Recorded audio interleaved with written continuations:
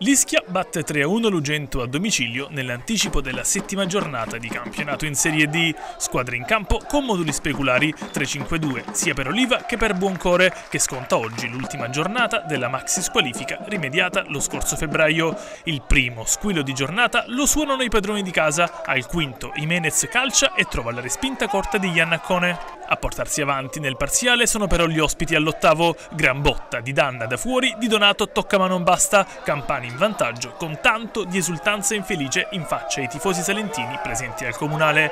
Al venticinquesimo Favetta riesce a calciare da posizione defilata ma trova soltanto l'esterno della rete ed una mezza illusione del gol.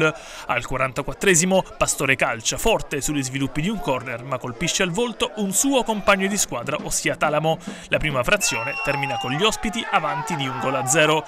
All'intervallo Mister Oliva prova a dare una scossa fuori un difensore, Iborra per un attaccante, Medina dentro anche Romero per Martinez. Tra le fila degli ospiti esce invece l'autore del gol d'Anna a beneficio di Patalano. Quest'ultimo segna al quarto del secondo tempo la rete del raddoppio, ma il gioco è fermo a causa di una posizione di fuorigioco.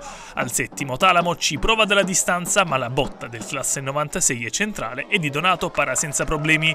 L'estremo difensore dei Salentini ci mette una pezza anche all'undicesimo sul più tiro che cross di Florio. Al sedicesimo ci prova anche Baietti con coraggio, ma senza fortuna. Passa un minuto e Battista, appena subentrato a Favetta, non trova lo specchio della porta su calcio di punizione. La reazione dell'Ugento non arriva e quindi l'Ischia raddoppia al diciannovesimo con Patalano. Conclusione a giro che si insacca dove Di Donato non può arrivare. I Salentini accorciano le distanze al venticinquesimo, punizione di Romero ed inzuccata vincente di Ruiz, decisiva la deviazione di Mattera.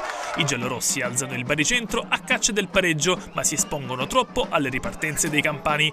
Florio viene lasciato completamente da solo in aria ed è libero di servire a Battista l'assist del 3-1 finale. Al 34esimo Baietti trova la rete del 2-3, ma questo gol di testa viene annullato per fuorigioco. È l'ultima emozione di un match che termina dopo 6 minuti di recupero.